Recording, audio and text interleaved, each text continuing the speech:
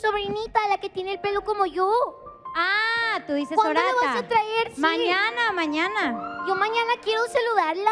¿La Bueno, a- la- la mañana vas a que venga también Rayita. Ah, pues órale, me encanta la idea que se junten Rayita y Orata. Quiero verla y jugar con ella, a la matatena.